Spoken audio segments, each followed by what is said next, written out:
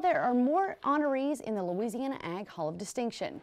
The hall is set up to recognize farmers and industry professionals for their accomplishments in agriculture and the contributions they've made to the industry. Linda Zaunbrecher became the second woman to be honored in the hall. She says that her career in agriculture has been a way for her to carry on her son's legacy. I told someone once that uh, I felt like if I did something, he would live on.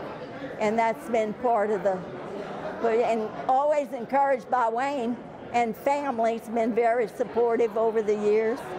It's been uh, it's been a fun ride. Zaunbrecher was the first woman to serve on the Louisiana Farm Bureau Federation State Board of Directors Executive Committee, a seat she held for 26 years. Also honored this year was Pointe Coupee Farm Bureau President George LaCour. LaCour farms beans, corn, sugarcane, and cattle, but is most known for his involvement in the cotton industry. In agriculture, we're just a big family. I love meeting people.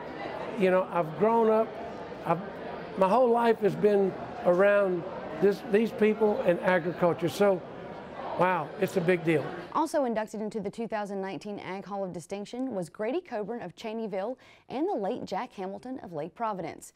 To see more from the event, head on over to our website at twilatv.org.